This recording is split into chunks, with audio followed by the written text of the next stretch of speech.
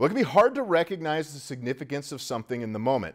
It may not be until 10, 15, even 20 years later we realize how special something was. Like the 2004 Wadena Deer Creek boys hockey team, the first ever to don the gold and blue, or the 2010-2011 team that had to practice and play without a home arena after an F4 tornado ravaged the town.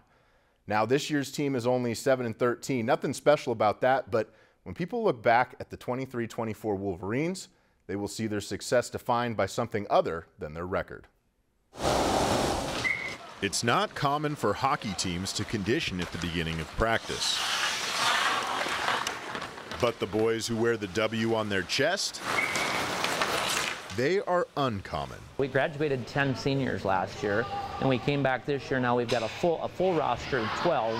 That includes the goalie. Yes, you heard that correctly. The Wolverines only have a roster of 12. It's so few that Wadena Deer Creek hockey almost folded if not for those 12 boys lacing up their skates on game days. You've been knocked around, you've been knocked down, you've been beaten and broken. What's not going to break and what hasn't broken is your willingness to come to the rink and play. You guys are going to be a lot of things in life when this is over. But what we know about you is you're not going to be quitters. You're not going to quit. At times this season, the Wolverines played with as few as eight available skaters, presenting the squad with plenty of challenges. We don't got anything behind us, so when we got eight players, everybody's got to do their own part. They got to do well in the classroom, they got to do well on the ice, they got to keep themselves healthy and just play as smart as you can. Right here! In games, we like work to rest ratio, so you like play for two minutes, then rest for one, and like just tons of water and just stuff like that. It's also common for opposing teams to carry twice as many players, so the Wolverines must be uncommon and play with twice as much heart. We just gotta outwork them as much as we can, play the game how we're supposed to, play with what the coach tells us to do, work hard, skate hard, get pucks deep, all that kind of stuff. I always trust our guys. I think they're going to go out there and give a great effort all the time, no matter what. Even if they're gassed or they're just fresh start of the game, I think they're going to give their best effort.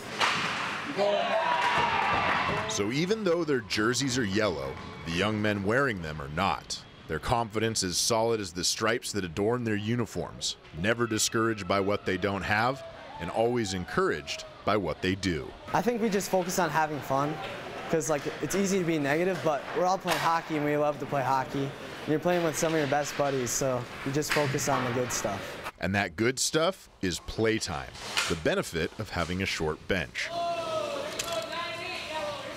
Last year I didn't get any skating time really, you know, a lot of seniors ahead of me.